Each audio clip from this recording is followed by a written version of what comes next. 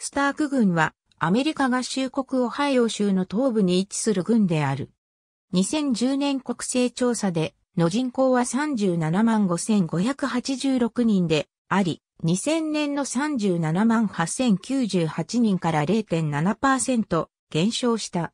軍庁所在地はカントン市であり、同軍で人口最大の都市でもある。スターク軍は関東マシロン大都市圏に属している。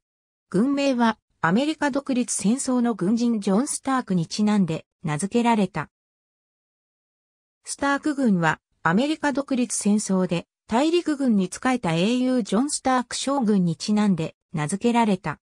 1777年のベニントンの戦いで結出した働きをしたので、ベニントンの英雄として広く知られるようになった。20世紀後半、スターク軍の選挙での投票動向は二大政党の間を揺れ動き、アメリカ合衆国大統領選挙では当選者を密に追いかけている。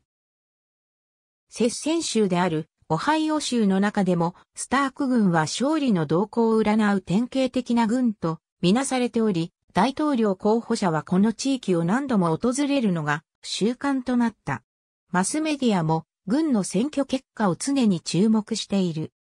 特にニューヨークタイムズは10年間以上にわたって各選挙に関する記事で郡民とその選挙に対する関心を取り上げてきた。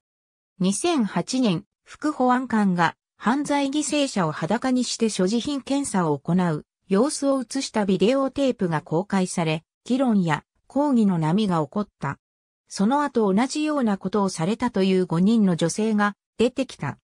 アメリカ合衆国国勢調査局によれば、軍域全面積は580.53平方マイルであり、このうち陸地575.27平方マイル、水域は5.26平方マイルで、水域率は0.91%である。以下は2000年の国勢調査による人口統計データである。スターク軍図、スターク軍は下記17の軍区に分割されている。